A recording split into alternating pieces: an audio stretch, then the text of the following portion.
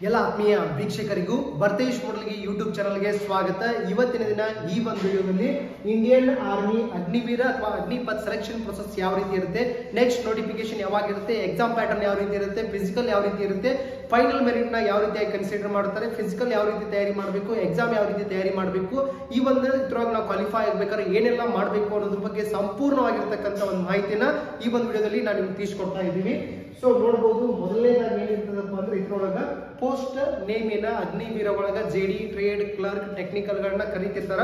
So ಅದ್ರ ಬಗ್ಗೆನೂ ಕೂಡ ನೆಕ್ಸ್ಟ್ ಹೇಳ್ತೀವಿ.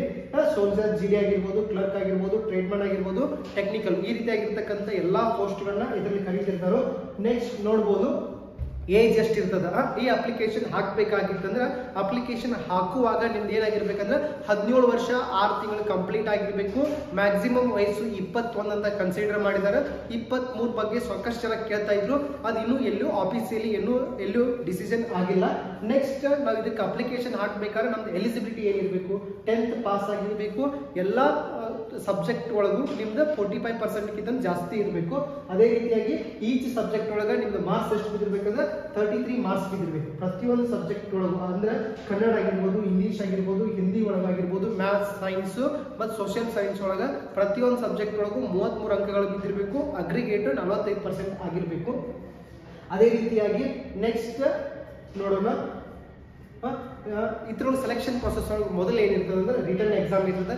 ರಿಟರ್ನ್ ಎಕ್ಸಾಮ್ ಆದ ಕೂಡಲೇ ಫಿಸಿಕಲ್ ಇರ್ತದೆ. ಫಿಸಿಕಲ್ ಆದ ನಂತರ ನೆಕ್ಸ್ಟ್ ಡಾಕ್ಯುಮೆಂಟ್ ವೆರಿಫಿಕೇಶನ್ ಕೊನೆಯದಾಗಿ ಮೆಡಿಕಲ್ ಚೆಕಪ್ ಮಾಡಿ ಫೈನಲ್ ಮೆರಿಟ್ನ ಬಿಡ್ತಿರ್ತಾರೆ ನೆಕ್ಸ್ಟ್ ಏನಪ್ಪಾ ಅಂದ್ರೆ ಇದ್ರೊಳಗೆ ನೋಟಿಫಿಕೇಶನ್ ಡೇಟ್ ಇನ್ನೇನು ಕೆಲವೇ ದಿನಗಳಲ್ಲಿ, ಅಂದ್ರೆ ಕೆಲವೇ ತಿಂಗಳೊಳಗೆ ಜನವರಿ ಅಥವಾ ಫೆಬ್ರವರಿ ಒಳಗೆ ಈ ಒಂದು ನೋಟಿಫಿಕೇಶನ್ ಬಿಡ್ತಾರೋ. ಅಪ್ಲಿಕೇಶನ್ ಡೇಟು ಕೂಡ ನಿಮ್ದ ನೋಟಿಫಿಕೇಶನ್ ಬಂದ ನಂತರ ಕೇವಲ ಹತ್ತರಿಂದ ಹದಿನೈದು ದಿನದೊಳಗೆ ರೆಡಿ ಆಗ್ತದೆ. ಎಕ್ಸಾಮ್ ಡೇಟು ಕೂಡ ನಿಮ್ದು ಜೂನ್ ಅಥವಾ ಜುಲೈ ಒಳಗೆ ಆಗ್ಬೋದು. ನೆಕ್ಸ್ಟ್ ಫಿಸಿಕಲ್ ಏನಿರ್ತದ ಸೆಲೆಕ್ಷನ್ ಪ್ರೊಸೆಸ್ ಒಳಗೆ ಫಸ್ಟ್ ಎಕ್ಸಾಮ್ ಇರ್ತದೆ.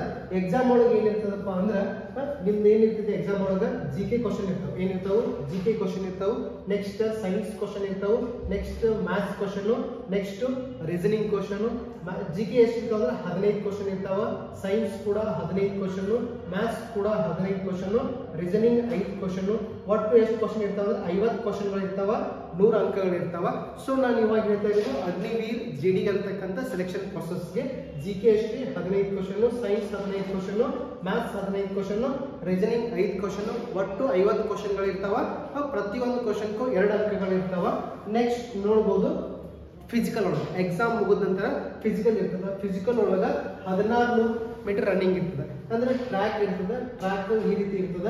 ಈ ಒಂದು ಟ್ರ್ಯಾಕ್ ಒಳಗ ನಾಲ್ಕುನೂರು ಮೀಟರ್ ಟ್ರ್ಯಾಕ್ ಒಳಗೆ ನಾಲ್ಕು ರೌಂಡ್ ಅನ್ನ ಓಡಿಸ್ತಿದ್ದರು. ಸೊ ನಾಲ್ಕು ರೌಂಡ್ ಓಡ್ರೆ ಎಷ್ಟಾಗ್ತದೆ? ಹದಿನಾರು ಮೀಟರ್ ಆಗ್ತದೆ. ಹದಿನಾರು ಮೀಟರ್ ಟೈಮಿಂಗ್ ಒಳಗ ಐದು ನಿಮಿಷ ಮೂವತ್ತು ಸೆಕೆಂಡ್ ಒಳಗೆ ಬಂದವ್ರಿಗೆ ಏನ್ ಮಾಡ್ತಾರೆ? ಫಸ್ಟ್ ಗ್ರೂಪ್ ಅಂತ ಕನ್ಸಿಡರ್ ಮಾಡ್ತಾರೆ. ಐದು ಮೂವತ್ತರಿಂದ ಐದು ನಲ್ವತ್ತೈದು ತರ ಬಂದವ್ರಿಗೆ ಏನ್ ಮಾಡ್ತಾರೆ? ಸೆಕೆಂಡ್ ಗ್ರೂಪ್ ಅಲ್ಲಿ ಕನ್ಸಿಡರ್ ಮಾಡ್ತಾರೆ. ಫಸ್ಟ್ ಗ್ರೂಪ್ ಮತ್ತು ಸೆಕೆಂಡ್ ಗ್ರೂಪ್ ಕೂಡ ಅಂಕಗಳು ಇರ್ತಾವ.